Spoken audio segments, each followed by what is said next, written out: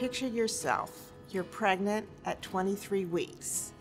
You're in the hospital because your doctors have told you it looks like your baby, who was going to be born late in the summer, is going to be delivered in the next day or two.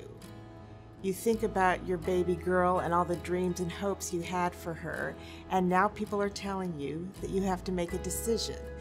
That after she's born, she can be admitted to the NICU and be intubated and receive a lot of invasive measures to help save her life, or that you could consider letting her pass peacefully without intervention.